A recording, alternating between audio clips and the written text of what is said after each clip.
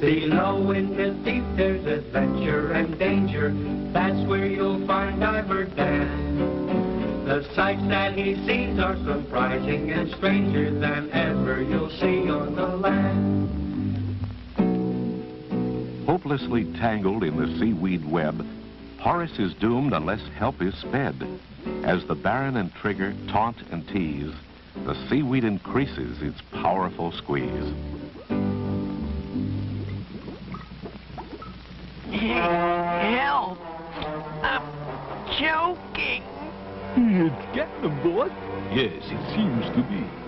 But Trigger, tell me, what must I do to get you to call me Baron consistently?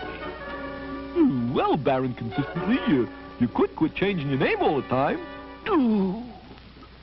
Sometimes I believe you must be the only fish that has succeeded in splitting the atom, since you couldn't possibly have more than half an atom for a brain. Oh, gee, thanks, boy.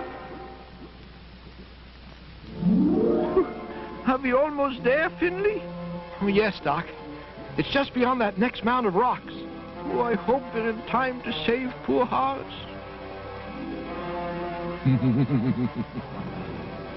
he is getting weaker.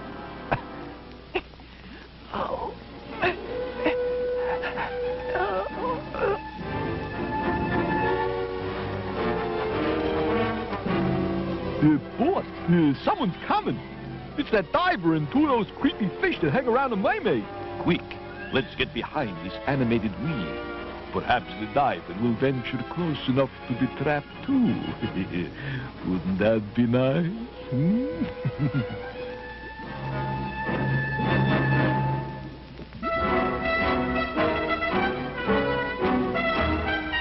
Just as I feared. It is the savage seaweed of the Sulu Sea. I've never actually seen it before, but it is described to all divers as one of the greatest dangers of the seven seas. Can you use your, your knife to cut Horace loose, Dan? That's what I'm going to try to do.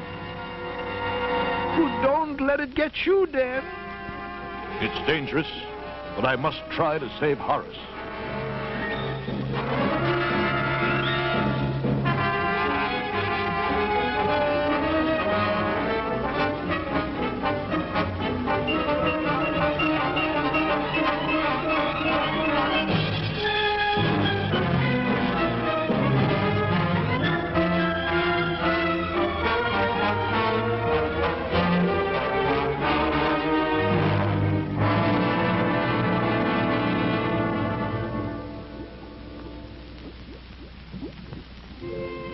So Finley and Doc went after Diver Dan to see if he can help Horace. Yeah, Horace certainly can get himself into a peck of trouble. Yes, he does, Skipper. I think it's because he's such a gentle, trusting soul. Now, now, Seabiscuit. Pacing like that will do no good. I'm sure Diver Dan will think of something. Gosh, Miss Minerva, I sure hope so. Oh, my, oh, my. Dan is caught now. Yes, but I at least have my other arm free. I must free myself quickly. I don't have much air remaining in my tanks. He's trapped. Now all we need is to keep him trapped until his tanks are empty. Yeah, Baron consistently. Then we will be rid of that guy uh, for good. Oh, can we do anything, Dan? No, Doc. There's nothing that you... Wait a moment. I have an idea. Can you pick up the end of that cable and give it to me? Oh, sure thing, Dan.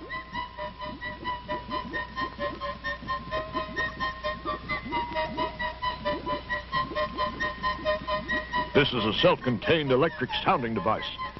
I'll just release this clamp and remove the sounding pod. There. What are you going to do, Dan? There's just a chance that this might work. I'll attach it above Horace. He might get a slight shock. But... Now, now, Doc, push that white knob.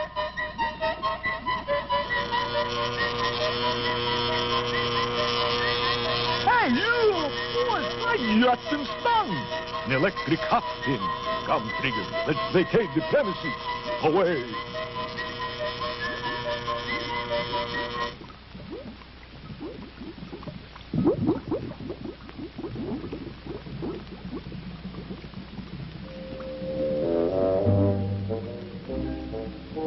Horace, are you all right?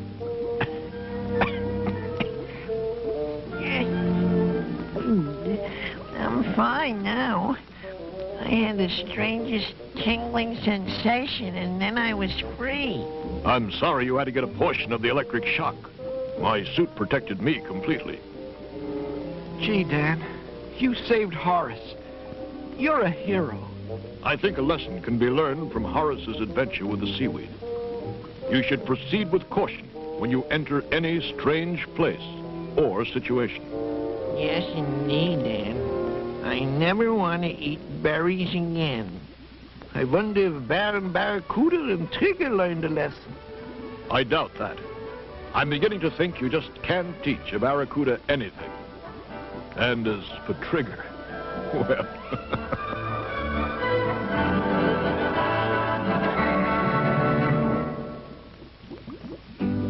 Horace has escaped the savage seaweed. The adventure he sought was an experience indeed. Diver Dan has saved the day, and now our friends are on their way. He moves among creatures of frightening features, flashing teeth, flashing jaws, flapping fins, snapping claws. He protects and he saves his friends under the waves. That's where you'll find Diver Dan.